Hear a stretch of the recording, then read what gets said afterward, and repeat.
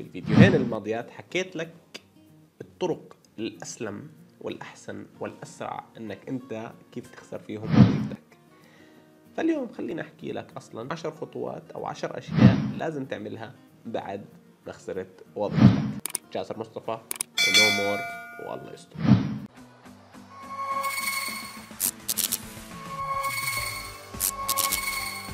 أول شغلة معلم بدك تعملها لسه ها بلشت تحس حالك إنه بلشت حتخسر شغلك إذا كنت مخير في اتخاذ القرار بين إنك أنت طواعية تترك الشغل وتستقيل ولا الشركة يعملوا لك termination أو cancellation أو يلغوا العقد تبعك ويطردوك. يعني مثلا عم بحاول أخليها بكلمة ألطف يعني.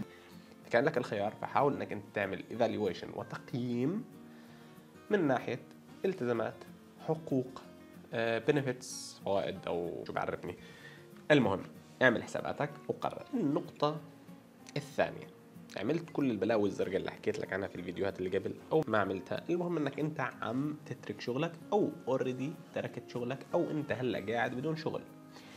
لازم تكون صريح مع نفسك وتقدر وتدرس قدراتك المادية. ليش؟ عشان تحسب أنت قديش تقدر تصرف على حالك بدون شغل.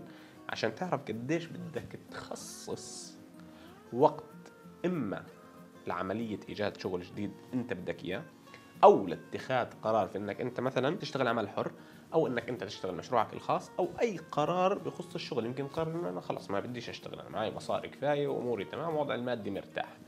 فشيء ضروري إنك أنت تقدر قدراتك المادية. والنقطة الثالثة أكيد أنت هلا بدك تقرر هل أنت راح تدور على شغل جديد ولا راح تفتح شغلك الخاص ولا راح تشتغل freelancer ولا أنت أساسا ما بدك تشتغل.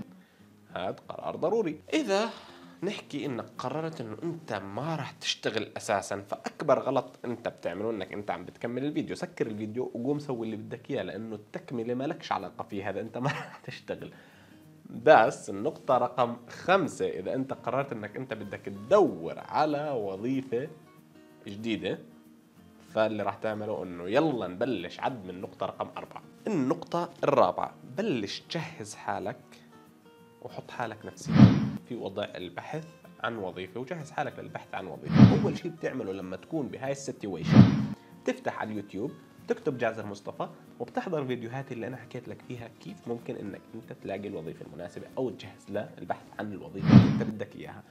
من ناحية إنك أنت تختار شو نوع الوظيفة، شو المسمى الوظيفي، شو الراتب المطلوب، شو ال benefits المطلوبة، شو البدلات المطلوبة، شو كمان ال location الموقع مثلا اللي أنت بدك فيه الوظيفة والى آخره في الأشياء أو في القرارات اللي بتخص وظيفتك اللي أنت بدك تشتغل فيها بعد هيك. والنقطه رقم خمسة. النقطة رقم خمسة هي نقطة حلوة وحبابة وبنت عالم وناس شو بتحكي لك؟ بتحكي لك إنه أنت خلال عملية البحث عن فرصة عمل حاول إنك أنت تمارس كل هواياتك وتعمل كل اللي نفسك فيه.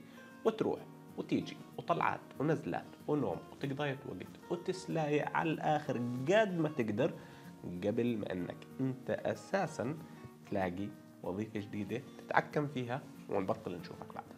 والنقطة رقم ستة الإشي اللي أنا دائما بحكيه let's see إنه أنت في عندك دورات كثير كنت حابب تاخذها بس بحكم الشغل والعيلة والأولاد والمش عارف مين كمان ما كان عندك وقت إنك أنت تاخذهم صار هلأ عندك الوقت الكافي والكافي كثير إنك أنت تاخذ الدورات اللي أنت محتاجها أو جزء وتطور مهاراتك أو جزء من المهارات اللي أنت محتاج إنك أنت تتعلمها. حتقول لي مصاري حقول لك يوتيوب. حتقول لي مصاري حقول لك جوجل. حتقول لي مصاري حقول لك مليون الف source of information online سعره كثير رخيص أو ببلاش. فما لك حجة.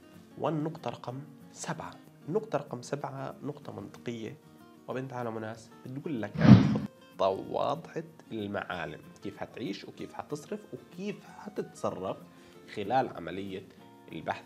عن العمل واللي لازم تتناسب مع قدراتك المادية اللي انت قدرتها في نقطة من النقاط اللي حكيتها قبل هيك. وهذا يشمل على الفترة اللي راح تكون أصلا بتدور فيها على فرصة عمل والفترة اللي بدك تشتغل فيها بالشركة الجديدة. ولازم تكون خطة واضحة المعالم وتتناسب فعليا مع حقيقة قدراتك المادية. لا تشطح كثير ولا تضغط حالك على الآخر.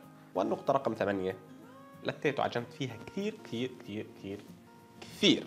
حدد قدراتك ومهاراتك ونقاط قوتك ونقاط ضعفك عشان تعرف كيف تسوق لحالك في الوظيفة الجديدة النقطة رقم تسعة. لاقي فرصة عمل تتناسب مع خياراتك واحتياجاتك وقدراتك ومواهبك والفيلد اللي انت بدك إياه. واشتغل بالوظيفة أو قابل على الوظيفة وقدم على الوظيفة اللي انت بدك إياها مش اللي بس متوفرة مش أي شيء بيطلع قدامك إلا في حالة إنه وضعك المادي مثلا جدا سيء عندك التزامات جدا عالية عندك التزامات عائلية علاجية مرضية أي التزامات تلزمك تشتغل في أي شغل فأنا ما عم بحكي عنها. لكن أنت في ال comfort zone اللي أنت قادر إنك أنت تتحمل شوي وتسيطر وتختار الوظيفة المناسبة. هلأ لقيت شغل وقابلت واتفقت على الراتب كل الأمور تمام وشغلك منيح وبلشت شغل معهم واشتغلت سنة سنتين وات وزهقت منهم وقرفت الشغل وكل الناس ما بفهموا لأنه كل الشركات أولاد كلب ولأنه كل المدراء مش مناح بالمرة وخلص زهقت وبدك تترك شغلك وبدك أي طريقة تقدر تترك شغلك فيها. بسيطة ارجع الفيديوهين اللي هم راح يبينوا يمكن هون وهون أو هون وهون هدول ارجع احضرهم أنا عملت لك إياهم أصلا حكيت لك فيهم كيف تخسر شغلك. واحد بيقول لك 10 خطوات عشان تخسر شغلك بسرعة وواحد بيقول لك اخسر شغلك في 10 أيام. فظبط حالك احذرهم واخسر شغلك. هلأ هيك بكون وصلت للمرحلة اللي أنا في راحة نفسية هائلة. ليش؟ لأنك حكيت لك كل إشي بيلزمك. كيف تدور على شغل وكيف تطور مهاراتك وكيف تلاقي شغل وكيف تتوظف كيف تشتغل في الشغل وكيف تطور مهاراتك وكيف تترك الشغل وكيف ترجع تدور على وظيفة وكيف ترجع تترك هذه الوظيفة؟ وشو تعمل بعد ما تترك هذه الوظيفة؟ كيف ترجع تلاقي وظيفة ثانية وترجع تخرب الدنيا وتجيب العيد؟ وكيف ما تخرب الدنيا وما تجيب العيد؟ وكل شيء يعني حكيت لك كل شيء هلأ الكرة معلم في ملعبك؟ قول لي شو راح يصير معك؟ حط لي اياه في الكومنتس. وسلام.